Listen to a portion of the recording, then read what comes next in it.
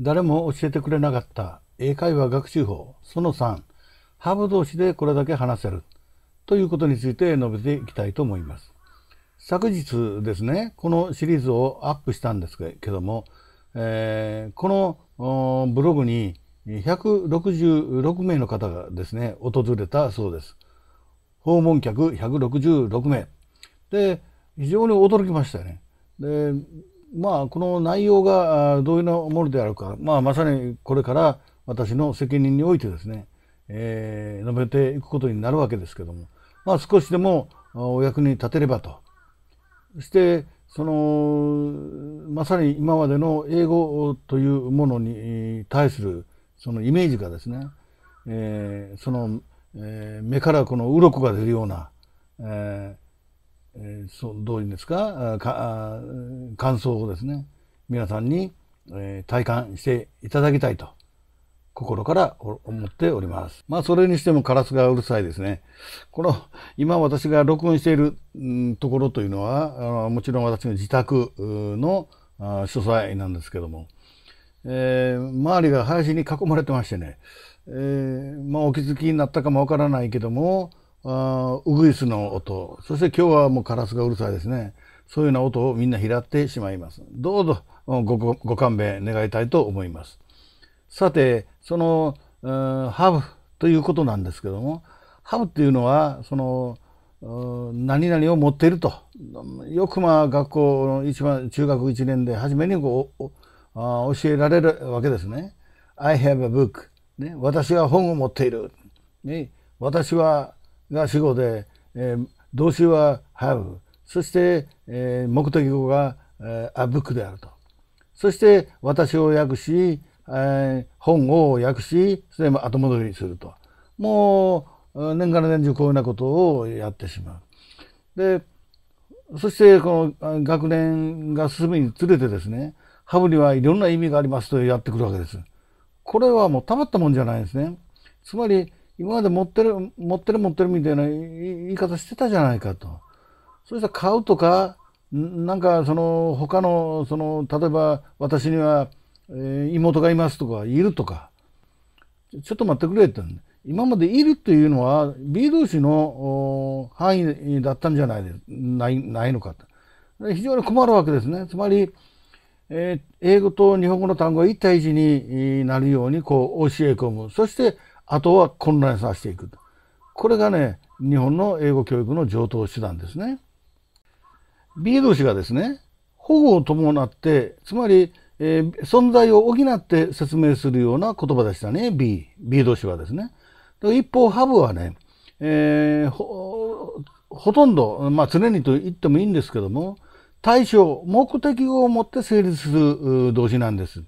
だから、これはいわゆる、えー、B 動詞が VC 感覚の代表だとすれば、ハブは VO 感覚の代表なんだということなんですね。で、ところで、ハブっていうのはもちろんえー、死後が人間だけにとどまらないということなんですね。まあ、もちろん、I have no trouble というのは、まあ、これは人を仕事したものなんですけども、どうしてここにこういうような文章、英文を挙げたかと言いますとですね、普通、問題ないよって no trouble でいいですよね。わからへんねん。no idea でいいですよ。ね？恐怖ありますかって言われた場合、no fear。いや、ないんだよ。これが普通なんです。それで、この、つまり、えー、目的語ですね。対象と結びついているというのがこのハブなんです。つまり、ノートラブの状況を有してるよというのがハブなんですね。だから、少なくとも、have no trouble, have no idea, have no fear というふうにつながっていく。これが言葉としての習得なんです。もちろん、人間、えー、人以外の仕事して、a year has 365 days つまり365日ありありますよと。This house has no drain 下水が取ってないんですよと。これもつまり no drain から始まって have no, has no drain, drain になってそして this house has というふうに広がっていくということですね。でハブを持っているというふうに覚えてしまったらですね、本当に使いこなせない。えー、例えば目的語ですね。本とかお金っていうんだったら、まあ持っているでいいでしょうね。とこじゃところが赤ちゃんなら、私ね赤ちゃんがいるんですよとか、これから赤ちゃんができるんですよ、産むんですよと、これみんなハーブです。事故に遭いましたというのは、これもハーブです。風邪をひくも、ひいてるよというのは have a cold なんですね。つまり、え、目的語によってどんどんどんどん、えー、日本語訳が変わっていく。だけども、ここで大事なのは、ネイティブの人たちというのは、何かを有しているよ、具体的な状況としている、あるよということしか言ってないんですね。非常にね、えー、英語というのは単語数、単語、まあ特に動詞ですけども、非常に少ないんです。非常に経済的な効率的な意味ですね。とか日本語、日本語というのは非常にまあ日本文化を背負った言葉なんですね。非常に、えー、だから動詞的な表現というのがどんどんどんどん、えー、あるわけです。で、それとね、英語と勘違いしちゃダメですよ。英語は本当に文字が少ない。同じ、えー、単語を使い、えー、回しをするという。非常にそれに長けた言葉なんですね。でハブには進行形になると場合とならない場合があるということなんですね。えー、まあこれは B 動詞とよく似てますよね。で、所有など持続性のある状態を表す場合、これは進行形にならないんです。ところが、飲食する、経験する、受ける、被るといった一回の行為や経験を表す場合があるんですね。これは進行形になるんです。例えば、彼女の指には、えー、指輪がはめられている。ね。えー、has a ring on it というような感じですね。これはめられている。これは深刻にならないんです。ところが、she's having a good time. have a good time. これは楽しい時を過ごすという、まあ、ある意味で、えー、経験する、受ける、被るといった部類の言葉ですから、これは進行形になるんですね。はい、次に、have, あプラス行為の名詞。行為を表す名詞というのがあるんだ。で、ここからがね、つまり、オグデンさんのこの大活躍する場面ということになるんですね。で、オグデンさんは、なるべく動詞を軽くしようということを言ってるんですね。で、えー、そうすればですね、植民地配ができる。ね。植民地の人間に簡単に英語が話せるじゃないかと。えー、と考えたわけですね。そしたら彼が考えたのは英語にはですね、彼が作ったわけじゃないですね、この英語はね。英語には例えば、drink, look, wash, talk, rest。これみんな動詞です。その動詞を目的語に、まあ、見たこれ名詞になってるわけですけども、えー、それを have a drink, have a look, ね、have a wash, ね、have a talk, have a rest というふうな、えー、どういう表現方法があるんじゃないか、ああるんだと。いうことを指摘したわけですね。これなら、えー、植民地の人間も話せると。でね、ちょっと話が余談になりますが、このオグデンさんのその Basic English というのは、実はですね、大正時代に日本語に入ってき、日本に入ってきてるんですよ。で、えー、大正時代にもね、英会話のラジオ放送があったそうです。でその時に、岡倉天心という方がおられますね。ねももしわからなかったらネネットで探してください。それの、彼のですね、弟さんの岡倉湯三郎さんという方がおられたんです。で、その時に、彼がその英会話のラジオ講座を受け持っとったわけです。で、それでこれをもちろん教えようとしたんですけども、まあ、細かい話は私は、えー、わかりません。残っていませんからね。まあ、まあ、だけど教えたそうです。だけども、あまああいつ、いつか消えてしまったと。で、なぜ決めるか、消えてしまうかって簡単ですね。当時はまだ読解の時代だったからです。英語を話す必要がない時代だったから消えるのは当たり前ですよね。で、その遺産を全く日本の英語教育はつまり引き継がなかった。ねえー、歴史というのは非常に大事ですよね。はい。そしてですね、次に大事なこと、もう本当に重要なことについて述べていきます。で、英語のリズムというのは形容語プラス名詞なんです。これ、えー、日本の国文法では体言止めとかね、言い方します。つまり、形容詞プラス名詞なんですね。で、目的語も have a happy look。ね、幸せそうそうな顔してるねって。You have a happy look。えー、彼女はのんびりした顔してるわ。She has a carefree look ですね。健康そうな顔してるね。ね Your dog has a healthy look。これってすごい英語のリズムとしていい感じだと気づきませんか ?a serious look, an angry look, good looks。ね。そして、えー、引き続いて形容語プラス名詞というのもあります。えー、あんたびっくりした顔してるやんって。You have a, a surprised look。ね、彼女嬉しそうな顔してるねって。She has a pleased look. はい。untroubled look。のんびりした顔やな。deeply troubled look。苦渋に満ちた顔。日本語というのは非常に、えー、どどどうですか？動詞表現が豊かですね。だけども私たちは英語を話そうとしてるんです。英語は動詞はみんなハウだけなんですね、これ。そしてここで気づいていただきたいのは、すでにこの形容語というのはもう身につけたものなんですね。私の教材からすればですね。で、この VC 感覚の B プラス ED 系動詞フレーズ、形容語というとこをクリックしてください。これもすでに習ってるんです。つまり、え、ED 系の動詞フレーズですね。surprised, pleased, でこれ、えー、私なんかして驚いてるわと、I'm surprised to 何がして喜んでます？I'm pleased to 出てきましたね。つまりね、言葉というのはこのようにしてどんどんどんどん蓄積拡大していくんですよ。で日本の英語教育はそういうことをやらない。一切やらない。だから英語喋れない。喋れない。当たり前のことですね。そして、ちょっと文法的な話をしておきますとですね、形容詞というのはもともと限定用法と序列用法というのがあるんです。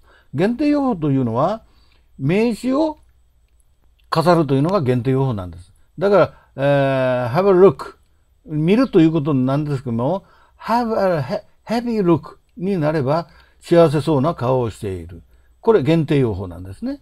ところが she is happy これどんなだという。彼女は幸せだよと。これ充実用法語と言うんですね。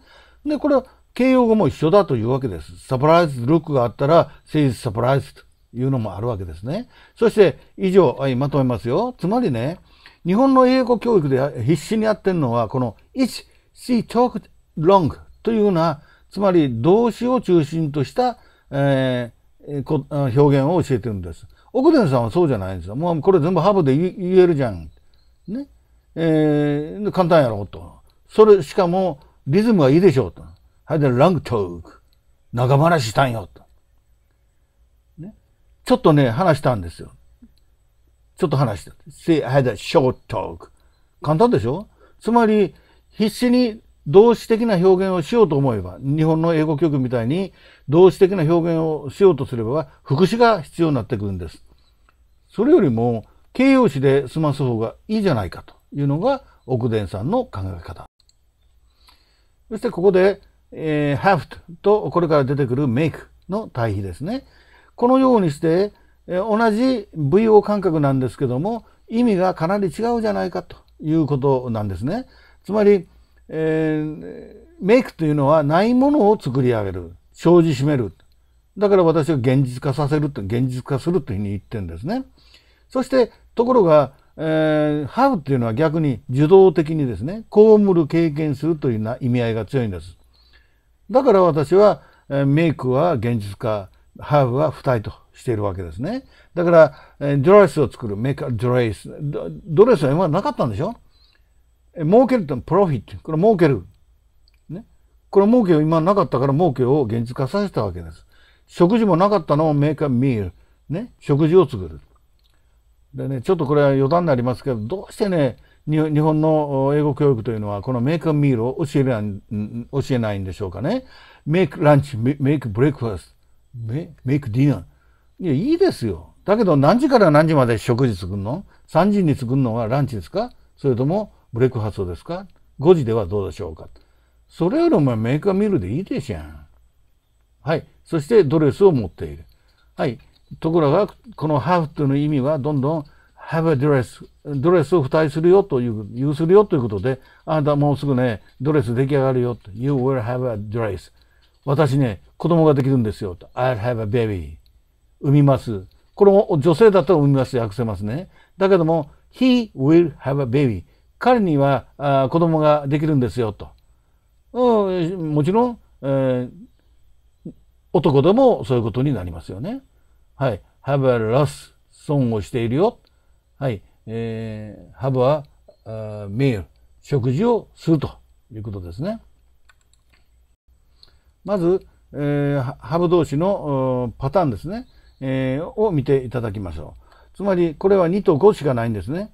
ハブというのは常に目的を、つまり対象をもも持たねばならない。持たねばならないっておかしいけども、持って初めて成立する動詞なんですね。だから VO 感覚と VOC 感覚とこの2つがパターンとしてあります。そしてまず VO 感覚ということですけども、これは I have a book とか I have a sister でおなじみのものです。はい、ところがですね、この教材のそのサンプルを3と4を挙げておきました。で、3をご覧になれば、えー、お分かりだと思うんですけども、つまり、この青印で表された部分は、これ、それだけでイメージするということですね。独立して。つまり、絶対にあれをしない。つまり、丸かじしない。丸かじりをしないということですね。だけども、その、一歩、let's とか I want to とかいうファンクションフレーズがありますよね。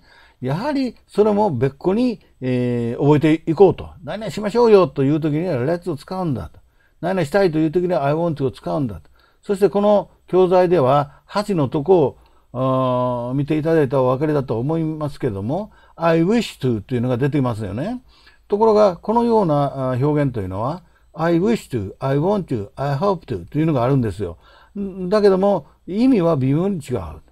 だからこの I wish を使ったらもうできない、メーカーウィッシュ、願い事をするというふうなウィッシュですから、えー、まあできたらしたいなという感じです、まあ、所詮ダメやけどなというような感じですね。そして、えー、それも蓄積していこうじゃないかと。I wish to, I wish to, な、何々したいな。彼女に会いたいな。ね、彼女に電話したいな。できたら電話したいな。まあ、できへんな。というような感じですね。で、そういうようなイメージを蓄積していく。はい。次の10では how about これは how do you feel about 何々ということなんですけども、次には ing 形動詞フレーズがつくということですね。えー、そして12では You have better というのが出てきます。何々しない方がいいよと。はい。えー、このようにして、どんどんどんどん蓄積していただきたいと、ね、思います。で、4ではですね、これも同じようなものなんですけども、やはり、この何々が終わりですか、ご兄弟が終わりですかとかいうことですね。そのようなものが続いていきます。で、ここで、その重要なことはですね、例えば、私ね、歯が痛いんですよとか、頭が痛いんですよ。これ、日本語でそのまま英語英語に変換しようと、これは無理ですね。例えば、uh, have a headache, ね、toothache で、こういうような言葉があるわけです。これも have の動詞フレーズとして覚えていく。あなた、えー、甘い声してるねって。have a sweet voice というような言い方しますね。で、このような表現をいくつ覚えていくかと。いうことが自由に英語を話すということなんです。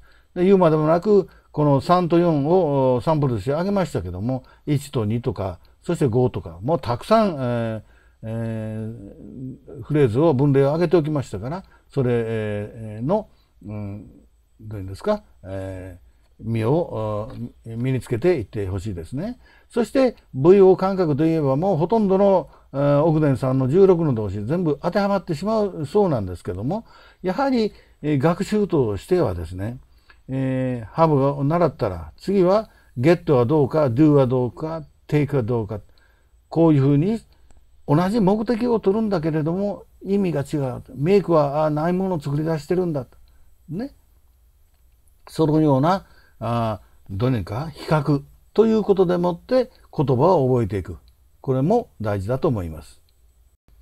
さあ、ここからですね、以下は非自制動詞フレーズが目的となるものという項目がありますけれども、ここからですね、えー、目から鱗が出る。つまり、奥伝さんがどうしてね、えー、皆さん、その植民地の皆さん、まあ、こんな言い方は変ですけど、えー、簡単に英語を話せますよって言ったのは実はここからなんですね。日本の英語教育とどれだけ違うかというのをここでまさに目から鱗を剥がしてください。でつまり奥伝さんの言いたい言いたいのは私は持ってるよ、有してるよと。で、妹だったら、あ、シスター。私には赤ちゃんがいるんです。I have a baby なんですよね。だけども、これと同じ感覚でですね、私は有してるよ、持ってるよ。はい、to。これから今行くことをと。これ to は、えつつまり到達を表す前置でしたね。だから、これから行かなくてはならない。これ未来の関わりを言ってるわけです。これ持っているですよ。有してるですよ。何が違うか？赤ちゃんとか、ね、えー、えー、どうですか、妹と。うん、どこが違うかと。つまり、動詞のフレーズが目的語に来ていると。それだけのことなんです。奥田さんはこれ言いたいんですね。でところでですね、えー、例えば、あの、ねばならないという訳すときには、must というのがありますね。ところが、must っていうのは、情緒動詞、いわゆる教育文法でいう助動詞なんですね。これには過去形がないんですよ。そしたら、過去形をどういうふうに代用させるかというのが、この have to なんですね。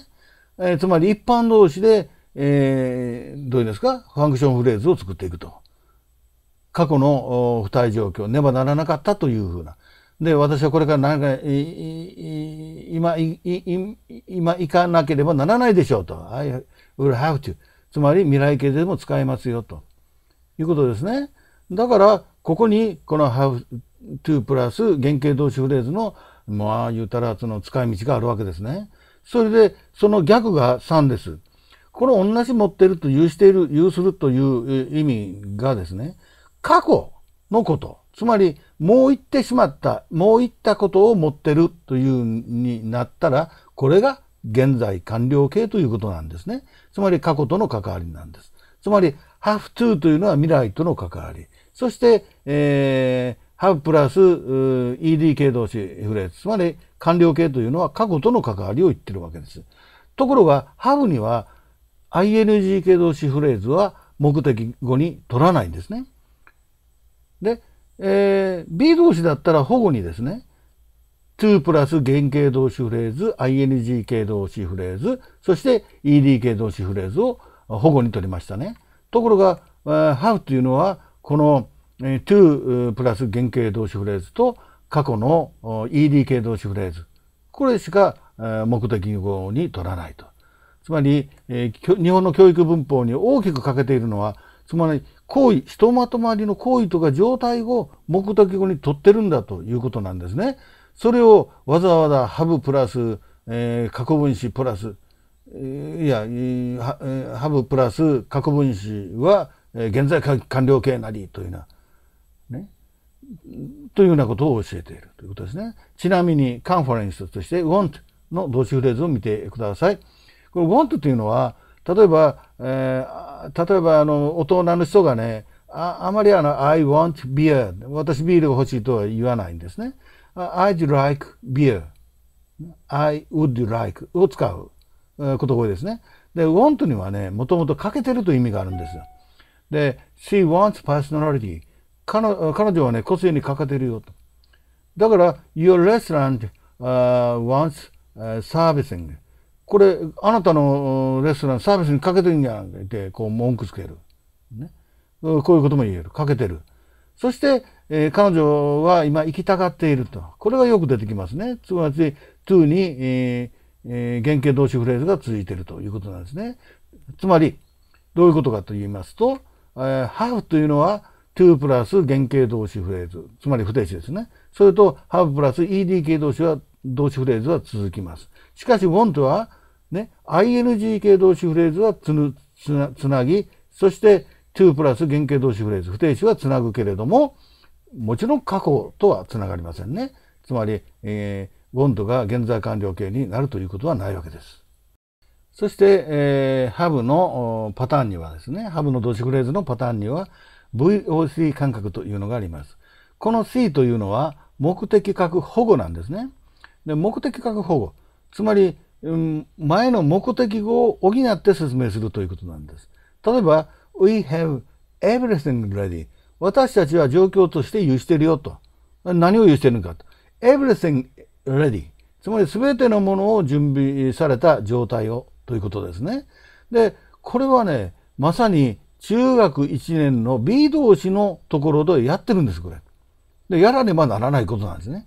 つまり、えー、例えば宿の人たちがですね旅行者に「everything ready」と言うたら「everything is ready」という、まあ、わざわざ言う必要ないですよな「everything ready」というふうに言ったらもうそれで通じてるわけです。それをきちんと言うたら「we have everything ready」じゃないかということなんですね。でところでですねこの VOC 感覚というのは実はオフゼンさんの16の動詞の get, have, make, put, keep, let それぞれ意味が違うんです。それぞれ意味が違うんですね。で、have が一番この原則的で標準的な表現です。get というのは無理やりしたとかね、やっとのことでしたみたいな感じになる。で、make だったら今度はそうでないものを作り上げる。ね。まあ、これは詳しいことは述べませんけれども、まあそういうものだというふうに覚えておいてください。そして、ここに、えー、VOC 韓国 make O 形容詞というものを挙げております。これサンプルで挙げております。まず見てください。クリックしてですね。このメイクを使う場合はですね、この現実化させるということでしたね。だから、my boss is angry. 私の上司が怒っている。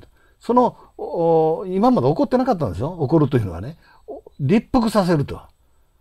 ということで、メイクを使うんですね。で、えー、his words made me angry. 今までは怒ってなかったでしょ？だから、え私を怒った状態に現実化させたというような感じです。ね。で、家を美しくするとか、部屋を掃除するということになりますよね。ところが日本の英語教育を受けると、ね、えー、部屋を掃除する。はい、掃除するは何だ。そして部屋を目的語だと。そうじゃないんです。英語のリズムは make your room room clean というね、言い方です。この方が相手に分かりやすいでしょね。えー、はっきりさせなさいよと。make it clear っていうね、言い方します。この方が相手に分かりやすいと思いませんかこれが英語のリズムなんです。はい。そして、えー、実はですね、この目的学保護となるものにはですね、567とこの厄介なことに3つあるんですね。全部揃ってるんです。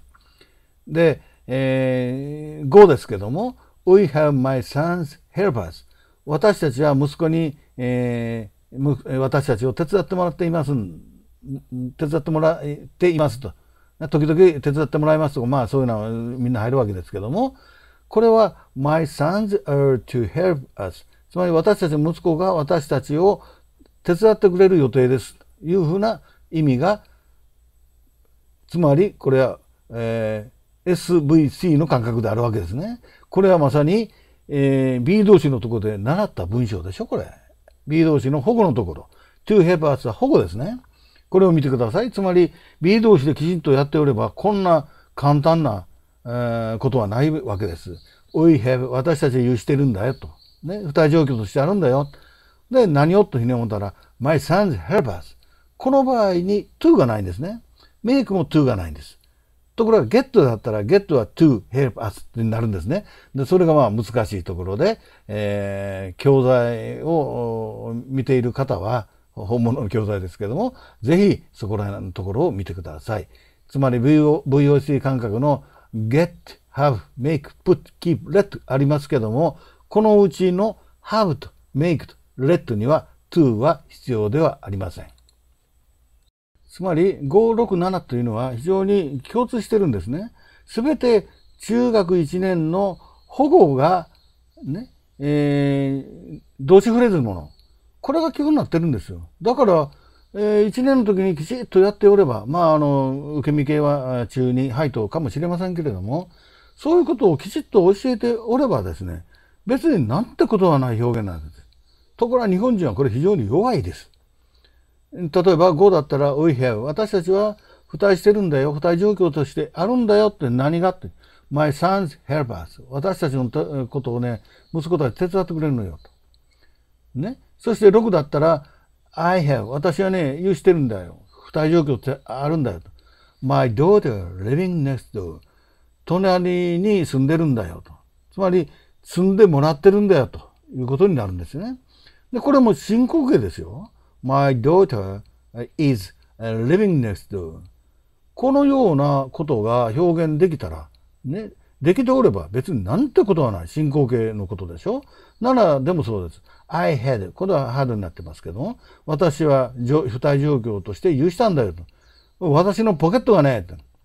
picked. すられたんだよ、in the bus. バスでね、と。で、これは、えー、つまり、中学1年のか、まあ2年生でも習うんでしょうけども、受け身形ですね。